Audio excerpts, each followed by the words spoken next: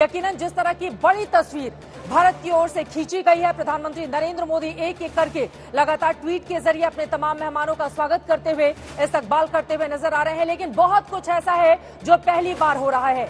बहुत कुछ ऐसा है जो हिंदुस्तान विश्व गुरु या फिर विश्व मित्र के तौर पर करता हुआ दिखाई दे रहा है।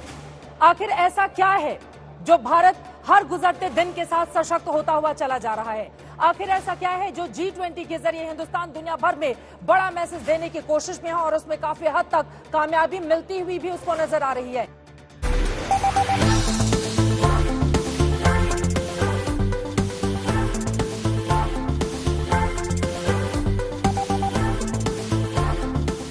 की धरती पर विदेशी मेहमानों के आने का सिलसिला जारी है।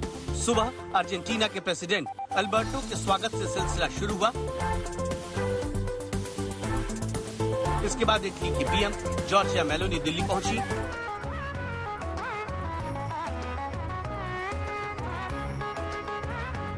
अफ्रीकन यूनियन के प्रेसिडेंट अजाली आए। बांग्लादेश की प्रधानमंत्री शेख हसीना पहुँची।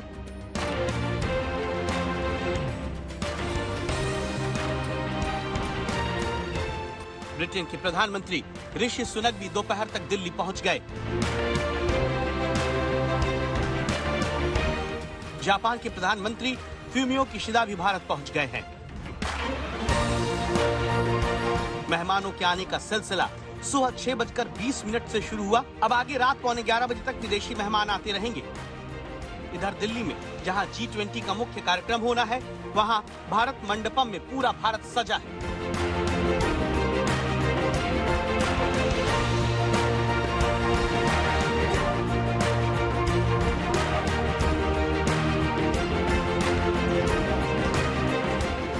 अपने ही देश में रहते हुए। उनको एक ऐसा मौका मिल गया है यहीं पे मंडपम पर जहाँ पर वो ये सारी चीज़ें प्रदर्शित कर सकते हैं। विकास से विरासत तक हर एक गाथा विदेशों तक पहुँचाने के लिए खास मेहमानों को और ज़्यादा खास एहसास कराने की पूरी तैयारी हिंदुस्तान में हो चुकी है। हम लोग इस क्राफ्ट बाज़ार में हैं और इस क्राफ्ट बाज़ार में आप देखेंगे तो कश्मीर से लेके कन्याकुमारी तक की झलक यहाँ पे दिख जाएगी।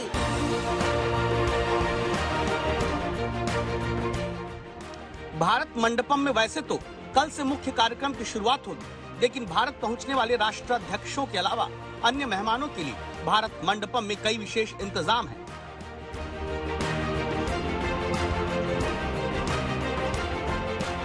यकीनन जब हमारे मेहमान इन तस्वीरों को देखेंगे तो वो इस बात को संजो कर ले जाएँगे। कुछ चीज़ें तो गिफ्ट के तौर पर भी दी जाएँगी जी उनको। जी गिफ्ट के तौर पे भी दी जाएँगी और आपको प्रसन्नता होगी जानकर कि कुछ ए, उनको एक मोबाइल फ़ोन दिया जाएगा जिसके अंदर हम लोग कुछ अपलोड करके कुछ पैसे डाल के देंगे अ, ताकि वो कुछ शॉपिंग कर सकें। और ये एक्सपीरियंस दिलाने के लिए कि किस प्रकार से हम लोग फ़ोन बैंकिंग कर रहे हैं आजकल।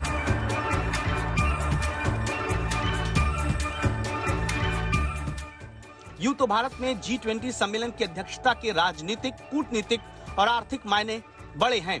लेकिन इस आयोजन के ज़रिए भारत ने समावेशी विकास के साथ असली भारतीय संस्कृति, जीवन मंत्र और लक्ष्य से रूबरू कराया है।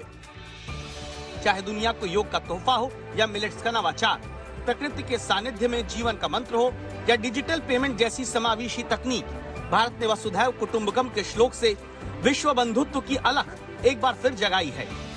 Focused on millets, which is critical from the viewpoint of sustainability of agriculture.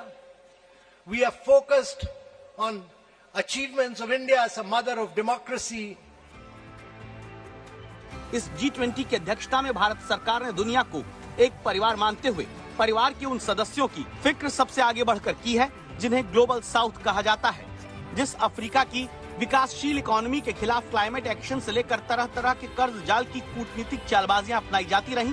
Bharat ने उसे जी में शामिल कर सबका साथ सबका विकास के मोदी मंत्र को दुनिया तक पहुँचाया we have had Africa's highest ever participation in addition to the 29 countries we have had 32 additional countries we had we been the of the global south we इस बार जी ट्वेंटी के मंच पर दुनिया भर के नेता जिस प्रस्ताव को स्वीकार करने वाले हैं भारत ने नई विश्व व्यवस्था में एकीकृत दुनिया को जिस राह पर चलने की दिशा दिखाई है वो डिक्लेरेशन तैयार है। बस दुनिया को भारत के मंत्र पर भरोसा करके आगे बढ़ता जाना है। आज के दिन पूरी दुनिया की निगाहें अब अमेरिका के राष्ट्रपति जो बाइडेन के भारत आगमन पर हैं, जब शाम साढ़े सात बजे के बाद पीएम मोदी और राष्ट्रपति बाइडेन के बीच द्विपक्षीय बैठक होने वाली है। मौसमी सिंह चित्रा त्रिपाठी और श्वेता सिंह के साथ आज तक ब्यूरो।